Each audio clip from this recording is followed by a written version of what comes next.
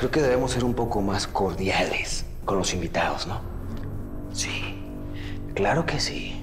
Y por eso vamos a jugar un juego con ustedes que se llama Se van a morir. Hoy, los tres.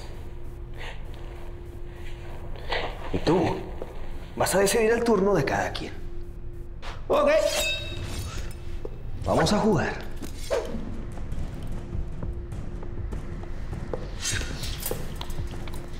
Esta es la última oportunidad que tienes para demostrarme tu lealtad. Tú decides tu vida anterior con ellos, muerta, o tu nueva vida conmigo. ¡Viva! Vas a morir, hijo de tu puta madre.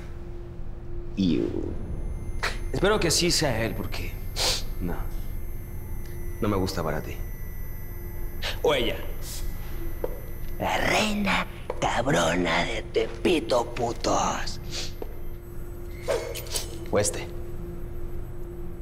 ¿Este quién chingados es? No importa. Tú decide quién quieres que se muera primero. O decido yo.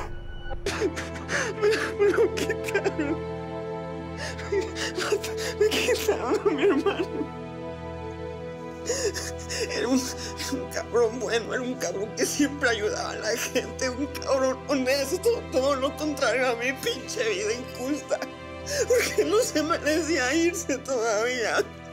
Me tocaba a mí, me tocaba a mí que por mi culpa lo mataron y me lo quitaron. No fue tu Sí, fue mi culpa. Sí, fue por mi culpa porque el perro de Gaby no se quería vengar de mí. Entonces me quitó y me mandó a la persona que más quería.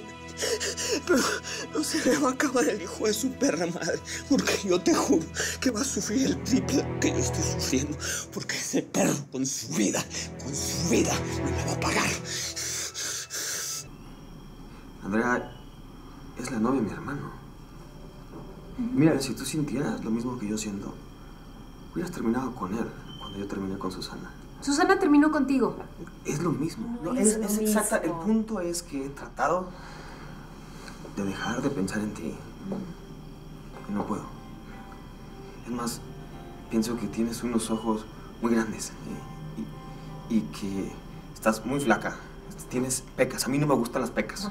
Pareces ardilla y soy alérgico a las ardillas y, y no funciona. Es- Mira, el punto es que no es justo. Que tú te vayas y que dejes a tu familia por mi culpa. No está bien. por tu culpa. Sí. Yo te besé. Ah, sí, pero yo también te besé. Sí, pero yo te besé primero. Sí, ¿verdad? Sí. Eso sí. Sí está mal. Sí, está mal. ¿Y qué hacemos? No volverlo a hacer. No.